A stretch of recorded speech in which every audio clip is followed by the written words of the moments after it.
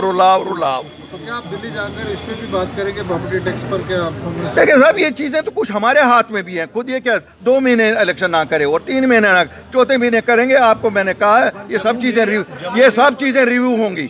ये सब चीज़ें रिव्यू होंगी। कश्मीर के मेयर ने इसका अपोज किया उन्होंने कहा कि हम कश्मीर में लागू नहीं होने देंगे। क्या वहाँ पर म्यूनसिपल क्योंकि उसको पता है कि उसको अपने प्रेसिडेंट के पास जवाब देना है।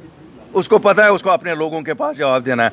यहाँ जम्मू के मेयर को भी पता है जम्मू के लीडरों को भी पता है कि इनको जवाब किसी के पास नहीं देना इनको वोट दिल्ली से ही आ जाते हैं। साफ़ तौर पे कहा है मेयर ने कहा है कि स्पेशल हाउस कंडक्ट किया जाएगा और इस चीज़ को रिवाइव किया जाएगा। म्यूनसिपल इस हक में नहीं है और जो ये ऑर्डर हुआ है ये ऊपर एडमिनिस्ट्रेशन से किया गया जिसके हक खुद म्यूनसिपल विभाग देखिए मैं आपको बताऊँगा जो चीज़ें भी लोगों के हित में नहीं हुए हैं ये तो जितने खंजर इन्होंने घुसेटे हैं जम्मू कश्मीर के लोगों की छातियों में मैं नहीं कहता हूँ पीठ में छातियों में इन सबको रिव्यू किया जाएगा।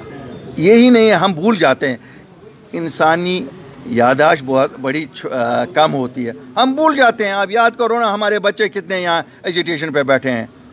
बॉर्डर बटालियन वो अकाउंट्स असिस्टेंट कितने नहीं कोई नहीं कौन कौन नहीं बैठा है? पकड़ो ना क्यों नहीं पकड़ रहे उनको? अगर कहते हो पेपर आउट हो गए बच्चों ने सफ़र किया वो क्यों नहीं जेल गए वो अफसर जो इसमें मुलविस थे? जिन्होंने उस एजेंसी को लगाया वो क्यों नहीं जेल गए अभी तक?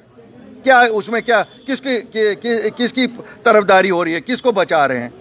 मुझे तो समझ नहीं आती। मैं तो आज अपील करता हूँ ये जितनी भी सियासी जमातें हैं छोड़े एक तलाफ हम किस जमात से हैं कौन है क्या हैं? लेकिन लोग तो हमारे हैं ना। हमें तो यहीं इन्हीं में रहना है। इन ये जो आ, अवाम मुखालिफ फैसले हर दिन ये एडमिनिस्ट्रेशन कर रही है। We should get up and join hands and fight them tooth and nail fight them क्या करेंगे ये लोग? इसे क्या और ज़्यादा ये कर सकते हैं?